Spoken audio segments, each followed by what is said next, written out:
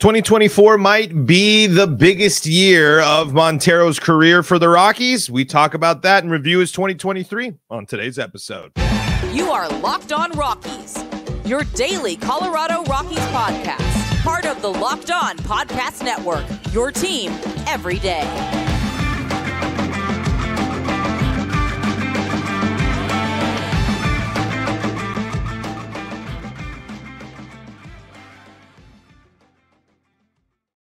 Rock on Rockies fans, welcome into the Locked on Rockies podcast for today, the 17th day of November in the year 2023. I'm your host of the Locked on Rockies podcast, Paul Holden, bringing you your daily Colorado Rockies talk right here on the Locked on Podcast Network, where you can find your team every day. And if your team is the Colorado Rockies, you are in the right spot because that's what we do around here Talk Rockies baseball each and every day. This week, we took mostly a break from our reviewing the Rockies series to talk about some uh, philosophical, big some question type stuff with the Rockies, bigger picture idea type of stuff.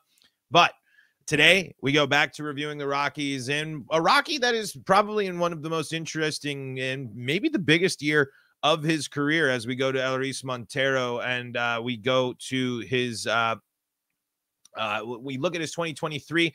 We look at the really weird way the Rockies have handled Montero, and we look at the fact that this year is going to be a big, big moment and a big, big year in his career, as it's going to be a moment where we need to see a breakout style performance, but we need to see the Rockies use Montero consistently, like we did see at the end of the season last year. Let's talk about that and more coming up on today's episode of Locked On Rockies. Uh, before we dive into everything today, today's episode is brought to you by Jase Medical. Empower yourself when you purchase a Jase case, providing you with a personal supply of five antibiotics that treat 50 plus infections. Get yours today at jasemedical.com. That's J A S E medical.com. And uh, you can find this podcast on your favorite streaming service. We really appreciate you all out there for making us your first listen of the day here on the Locked On Rockies podcast and the Locked On Podcast Network. Find us on your favorite streaming service and find us on the Locked On Rockies YouTube channel where you can be part of the show and you can fire off your Rockies hot takes and thoughts in the Locked On Rockies YouTube comment section. Your Rockies, uh, your subscription to the Locked On Rockies podcast is a great, great way to help the show. And I really, really do appreciate it. And I give you the virtual fist bump. If you do so. So thank you so much for supporting the show. Thank you for tuning in. Thank you for making us your first listen of your day and being an everydayer out there, our everyday listeners. Okay, uh, so Montero, Elehuris Montero, and someone that I'm I'm I'm still hopeful for. I am. I am. I think that there are things to be somewhat encouraged by, but we also learned a lot about Montero in 2023. We learned defense ain't his strong suit. So, third base that plan really wasn't going to pan out, and especially when you with, with the with the downgrade and the fact that during that time he was struggling on defense, Montero was also struggling at the dish. Uh, the beginning of the season was not all that kind to Montero there. Uh, he goes uh, and bats in April, where he was uh, playing pretty consistently. He goes uh, bats 214, 267, 286 when you're looking average OBP and slugging. In that time, he strikes out uh, 16 times that month and uh, only gets uh, nine hits in 42 at bats there.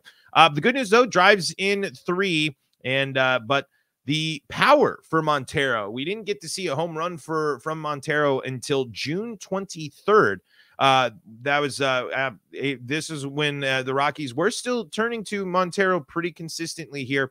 Um, and uh, this was kind of the last big stretch. And June, just really tough, tough month for Montero there. 19 strikeouts while carrying a 149, 163, 277 average. So he might have driven in six and might have gotten his first home run and first triple of the season there. That's what led to the Rockies uh, basically giving him one more chance in July uh, before uh, basically not having him for the rest of the month. He returned on July 26th where he was able to uh, to to put together a nice little solid line and, a couple and a handful of games there, a good solid four games for the Rockies, where he was uh, certainly impactful in the in that time.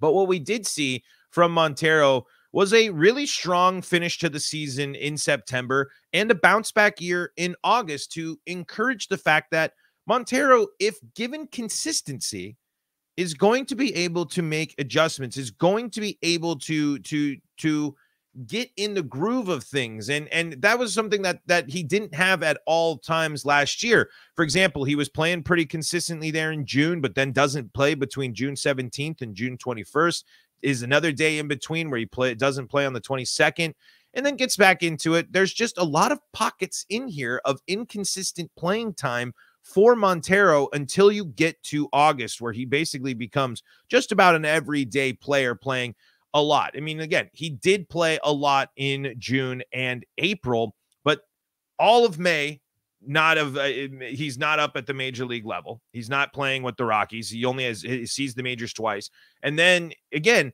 Two months of in between, where, in my opinion, the best way to have had Monty go through the season last year was to go through the grind and the and the and the effort of consist of of, of being able to build up and handle major league hitting because we knew the problem with Monty last year, especially in that first half of the season with the logjam with Cron and Grichuk and everyone else, and, and also playing third base for a little bit, we weren't able to really let him get into his place, find his place. The Rockies didn't really find have the place for Monty until later in the season when they moved on. And he fits really well into that Bryant rotation with with first base and DH, and, and same with you know, a, a player will have to talk later on about it in Michael Toglia.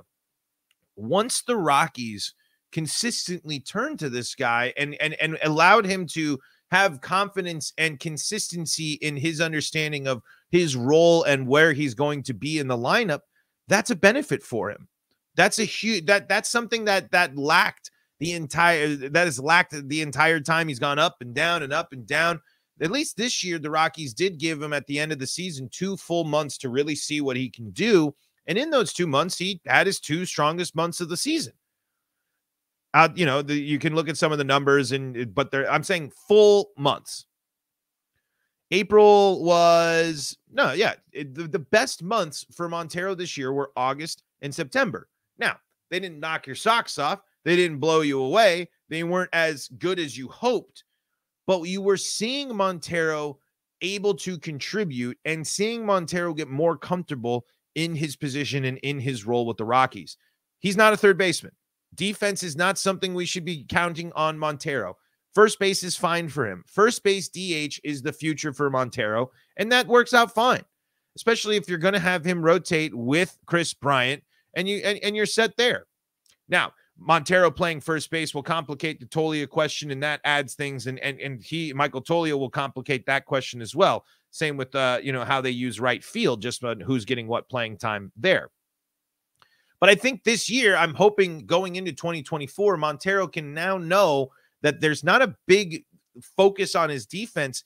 His really uh, play a, a, a good first base. That's all you got to do, and work on this batting and unlock that power and unlock that consistency and pop that we know that that that we haven't seen yet because we know he can hit the ball and we know he can hit the ball hard.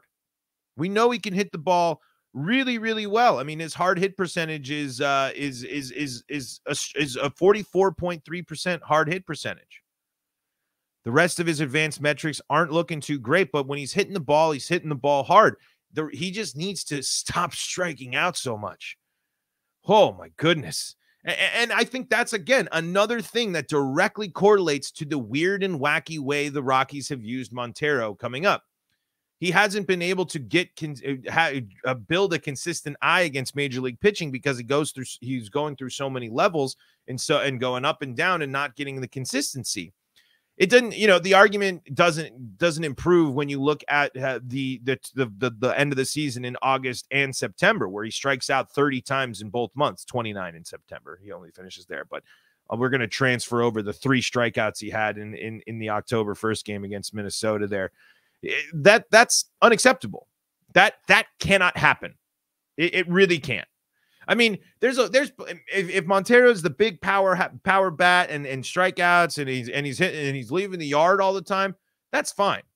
But he needs to work on on just me being able to handle and and navigate through major league hitting and uh and, and being able to be a a a threat at the dish. Because even throughout the struggles, we still got 11 home runs from Montero last year. Still got 39 RBI from Montero last year and 284 at bats. The, the, the power and the run generating potential is there. But step number one for Monty and all off season long, and he ain't alone in this, got to cut down on the strikeouts. Uh, let's continue to review Montero. Let's continue to uh, to talk about what we liked, what we didn't like here uh, about Montero's uh, performance this year, and uh, what we want to see more of coming up here in segment number two. Before we do that, though, got to tell you about some of the folks that help make this show possible and that includes Jase Medical. Jase Medical's got you covered when you're looking for some daily antibiotics or maybe a couple of other type of medicine like ED generics. Whether you're on extended travel, bracing for a major weather event, or limited by yet another supply sh- shortage, you are covered by Jase Medical. Thanks to our partners at Jase Medical, antibiotics and a long list of daily medications can be ordered in a one year supply. That's right. You can stock up, be safe, good to go. One year supply, so you don't have to constantly go back to the store or worry that you're going to run out. Like I said, you got those ED generics for Cialis, Viagra, and more. Go online right now at jasemedical.com to receive your 12 month supply on your daily medication. Remember to use the promo code locked on. That's promo code locked on when you check out at jasemedical.com. A verified customer had this to say about Jase. I am thankful for this service. Supply chain issues caused me to cut pills in half to have it. I ordered most of my daily meds with a year's supply. I also ordered the antibiotic kit. I feel secure now. Prices are lower than local pharmacies. I highly recommend this for everyone.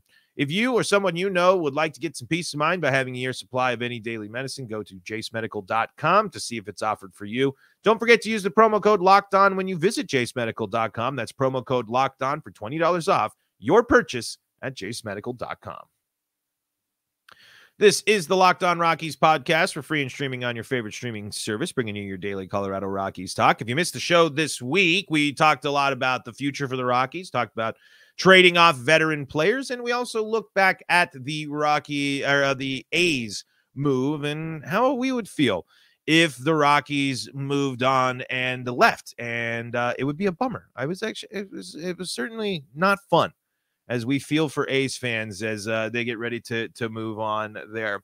Uh, we're talking and reviewing Elehuris Montero here on the show today, and and and the biggest takeaway from his season this year, I think was again the Rockies' weird way of using him this year, the lack of consistency, and the encouraging uh, trends we saw in when they the Rockies did use him consistently in the second half of the season.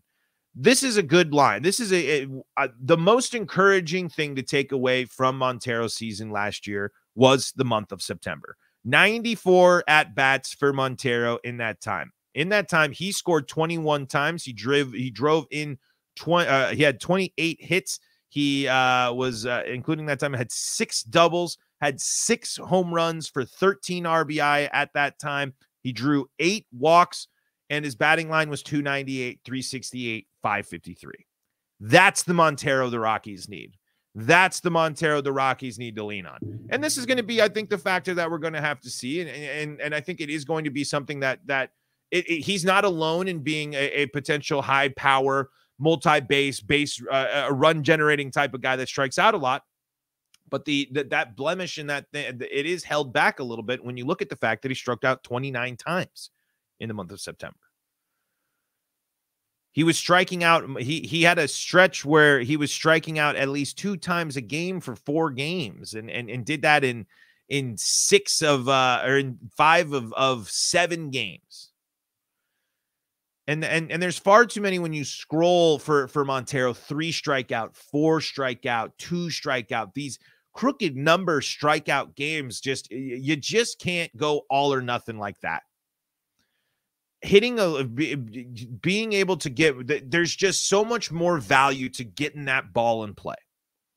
And I love the fact that Montero's got the power, got the oomph, got the thump. I don't think it's going to be crazy if he, if he plays consistently. I don't think it's crazy to think that he's a 20 plus home run hitter next year. I don't think it's crazy to think that that he's a guy that that that could drive in, you know, 70 plus RBI next year.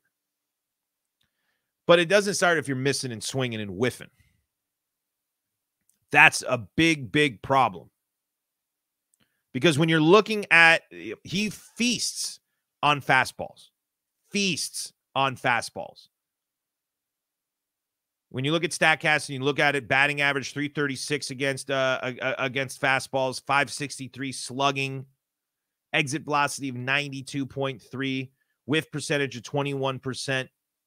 But then you go to breaking pitches and it plummets and, and it plummets even more for off-speed pitches. Striking out 52 times on breaking pitches, batting average of 186, a slugging of 339 a whiff percentage of 50. 50. And then when you go to off speed pitches, the batting average uh, drops even further. Strikeouts drop, but also the amount of uh, the number of, of off speed pitches he saw compared to breaking pitches is a lot different. So strikes out 24 times on off speed pitches, 52 times on breaking pitches. Batting average there for for for off speed pitches 156, a slugging of 311. The exit velocity down to 79.7 and a whiff percentage of 57.5. You cannot be whiffing on over half of the pitches and two thirds of the pitch mixes that people have. That cannot happen. That is the the the biggest flaw in Montero's game right now. His inability to hit breaking and off-speed pitches. Because everything moves nowadays. It's great to see that you can jump. I love, I love an aggressive uh, jump all over a fastball, rip it, get rip and grip and, and go after it. Love that. But that is just not the way that I mean, especially when teams know this, especially when teams have the data and are going to attack this. They're not going to, you're not going to see this. And Montero's probably not going to see very many fastballs to start the season next year. The adjustment has to be made now, and he has to be ready to go. And that's why with the Rockies up and down and and, and not getting him the the consistency until the uh, until August. Like I said, I know April, but again, plays a month of April, goes down in May, plays a month in June, goes down in July. Going and seeing those AAA pitchers wasn't helping Montero fix these problems.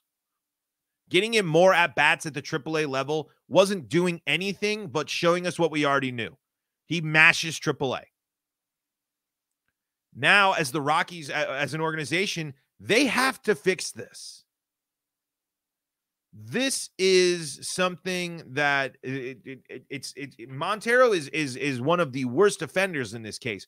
But you can't be having a, a guy that, that is not helping your player prepare it, it's it's another example where I think the Rockies fall short. That is almost 60% of the time that he is missing on off speed pitches. That's insane.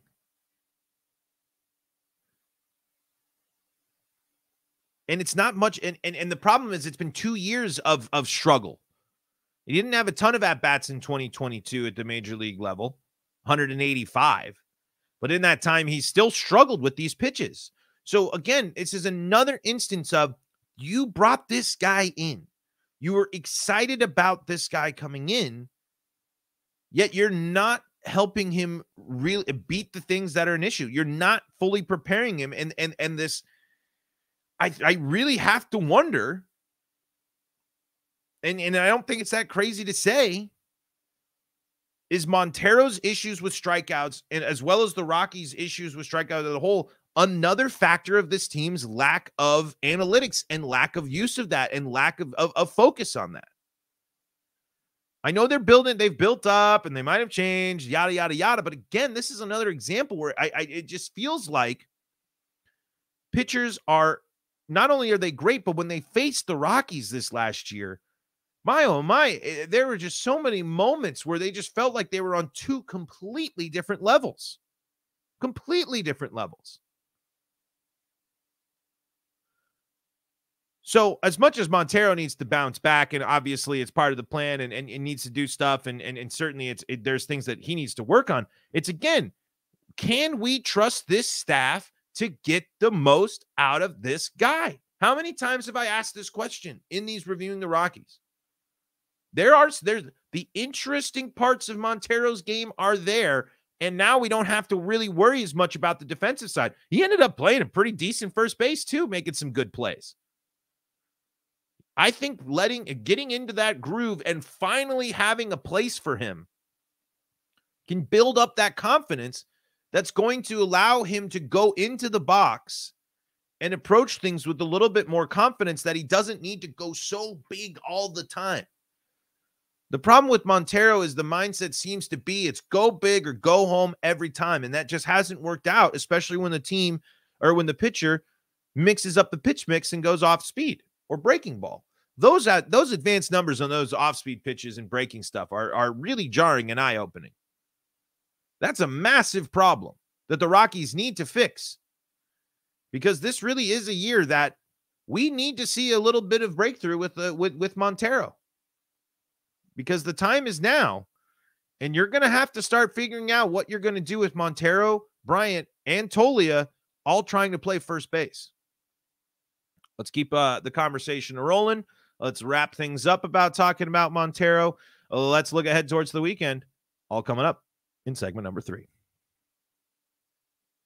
This is the Locked On Rockies podcast for free and streaming on your favorite streaming service, bringing you your daily Colorado Rockies talk right here on the Locked On Podcast Network, where you can find your team every day. And if your team is the Colorado Rockies, well, good news. You're in the right spot. That's what we do around here.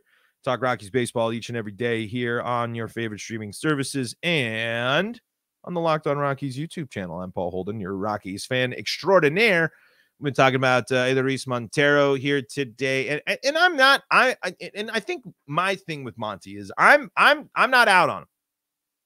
I'm I, I'm I still think that we need to see the first real full season.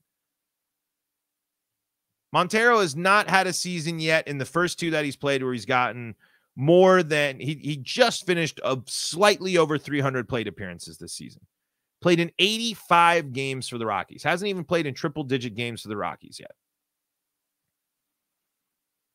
I think that there needs to be, we need to get more time. We need to see more time. We need to see what he can do. And we need to see what the uh the possibilities are for Montero. We need to see what we just need to see more. I need to see him play more. I need to see him play more consistently. And I need to see him take steps forward as well. I need to see him. I need to see a, a, a solid spring into a hot start for Montero this year. Because just like I have my concerns with the with the Rockies' ability to develop him,